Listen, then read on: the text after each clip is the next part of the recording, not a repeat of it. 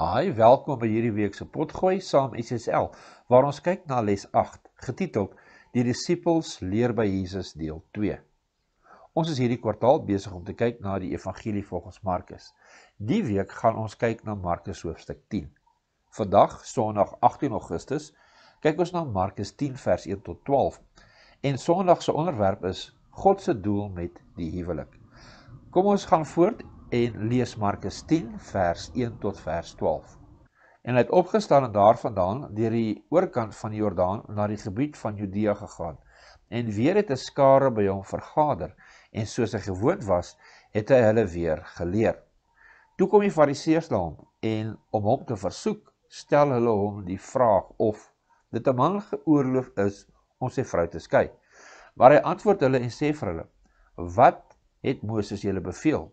En hulle sê: Moses het toegelaat om 'n skeibrief te skrywe en van haar te skei.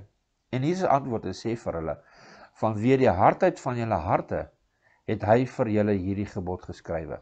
Maar van die begin van die skepping af het God hulle man en vrou gemaak. Om hierdie rede sal die man sy vader en moeder verlaat en sy vrou aankleef en hulle twee sal een vlees wees, sodat hulle nie meer twee is nie, maar een vlees wat God dan saamgevoeg het, mag geen mens skei nie. En in die huis het sy disippels hom weer oor dieselfde saak gevra.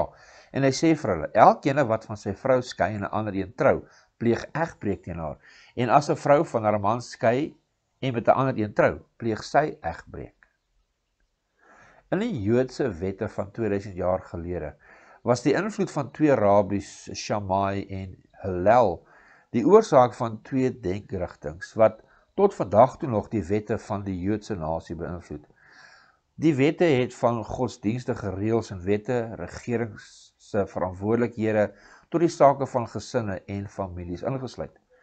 Die Bet Shammai skool van gedagte was meer streng as die Bet Hillel se skool van gedagte, veral wanneer dit kom by egskeidings. In albei kon slegs 'n man van sy vrou skei deur haar 'n skeibrief te gee wat get genoem word. Dit sou vir 'n vrou baie swaar wees om die hof te kry om haar man te dwing om haar 'n skeibrief te gee. Sy sou aan die hof moes bewys dat hy haar of mishandel of nie vir haar sorg nie of iets dergeliks. In die Bet Shammai skool kon jy slegs van jou vrou skei as sy ontrou was teenoor teenoor hom. In die Bet Hillel kon jy selfs van haar skei as haar kos sleg was. Punt is, vrou het nie veel regte gehad nie maar dit was volgens die reëls en wette van mense. Daarom antwoord Jesus hulle met: "Wat staan geskryf in die geskrifte van Moses? Wat lees julle?" Jesus roep hulle hier weer terug na die woord van God. Dan haal hulle Moses aan wat toelaat dat 'n man van sy vrou kan skei slegs as hy ontrou was aan hom. Maar hy moes 'n brief aan haar gee. Anders kon sy nie weer trou nie. Maar ontrouheid het hulle vertaal na iets soos kinderloosheid of ander dinge wat die Bybel nie noem nie. Maar dan sê Jesus dat dit is slegs toegelaat omdat hulle harte verhard is. Vir die beskerming van die vrou se regte was dit toegelaat. Maar dan herinner Jesus hulle aan God se oorspronklike plan vir 'n man en vrou.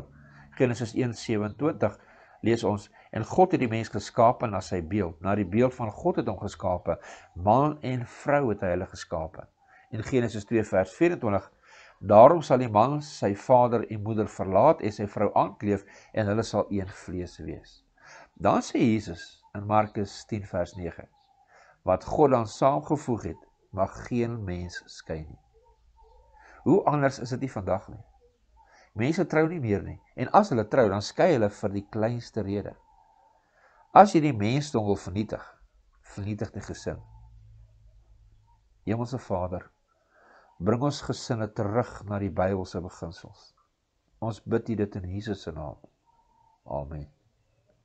Baie dankie dat jy vandag saam geskakel het. Tot volgende keer. God se ryke seën.